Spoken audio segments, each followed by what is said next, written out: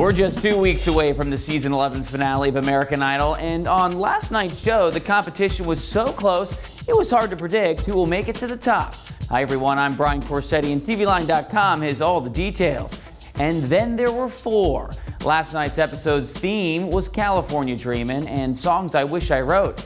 Phillip Phillips saying Creedence Clearwater Revivals, Have You Ever Seen the Rain in the California Dreamin' category, which is weird because I always thought CCR was from the South.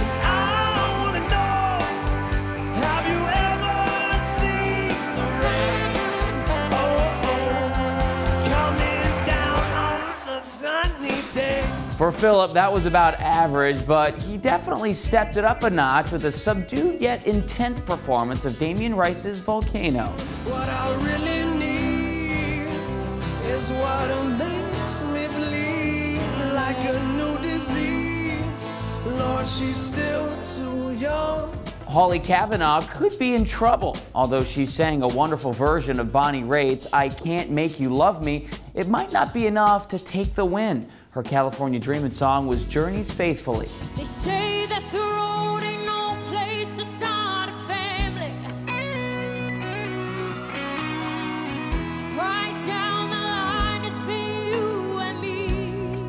Joshua Ledet's performance of Josh Groban's You Raise Me Up might have been an overkill for the naturally emotional performer, but he made a strong comeback on James Brown's It's a Man's Man's Man's World, easily one of his best performances of the season.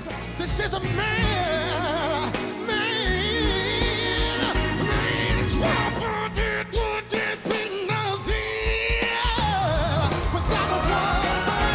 But it was Jessica Sanchez that stole the show once again, both with Etta James' Steal Away and then an absolutely killer performance with And I Am Telling You I'm Not Going from Dreamgirls.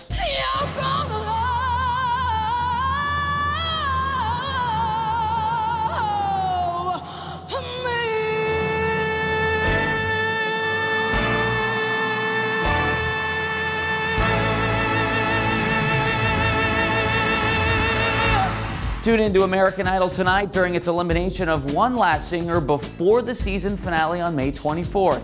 That's your Idol update. Don't forget to satisfy your Idol obsessions with our highly opinionated commentators on our recap show, Idology. She has an impressive body of work over the entire season, and I just, I'm like having a hard time accepting that she got sent home. I'm Brian Corsetti. For more TV news, log on to TVLine.com and subscribe to EN TV for all your entertainment news first.